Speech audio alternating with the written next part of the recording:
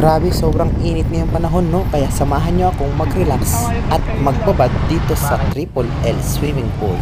Dito lang yan matatagpuan sa Victoria, Oriental Mindoro, guys, no?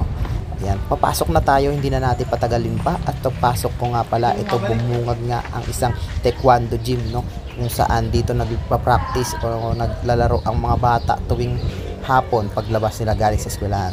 So guys, dediretso na tayo, hindi na natin papatagalin to, no? At nakikita nyo naman dito, bumungad na yung pinaka-venue, no? Kung saan ginaganap yung mga program, birthdays, at kung ano pa. At sa gilid dito, itong pinaka-malaking swimming pool nila. Este, itong pinaka-malawak na swimming pool nila, no? So makikita nyo may slide at may diving pa, oh. May mga cottage, tapos may mga pang single cottage, eh. Kaya yan, yung may payong na yan. So napakalinaw ng tubig guys, kita nyo naman, no? Sobrang kulay blue, no? Kitang-kita ang ilalim ng pool. Yan. Tatlo nga pala tong swimming pool ng Triple L, no? Kaya pala siguro tinawag na Triple L to. So parehas may diving. Yung dalawang pool at yung maliit ay wala. Pero yan ang pinakamalalim na pool, guys. So itong Triple L swimming pool ay may kita sa highway lang to, no? Sa gilid lang to ng highway ng Victoria, Oriental Mindoro. So bago magkalimutan, syempre, picture-picture na. At syempre yan, nag-dive na rin po kami sa sobrang init nga. Di na mapigilan ng mga tropa kong itong mag-dive at magkarera sa paglangay. So ayan, napakagandang view din muna. Aerial view dito sa Triple L swimming pool. So may mga duyan din sila dito guys. May cottage siya pang single or pang tatluhan. May cottage siya pang pamilya.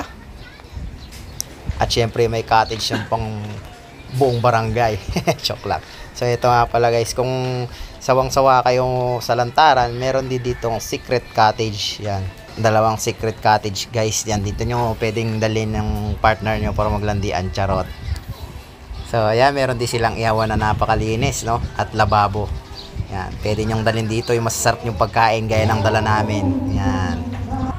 Alright. So ayan, dumive na naman ang aking mga tropa guys dahil lang init talaga ng panahon ngayon. Nagkakarera pa. Tingnan mo naman, sa sobrang saya naman yan. Sana all passes.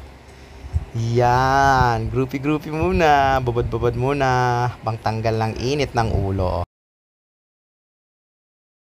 Kaya sa magkakaibigan, magkakabarkada dyan, ano pang inaantay nyo? Tara na dito sa Triple L Swimming Pool.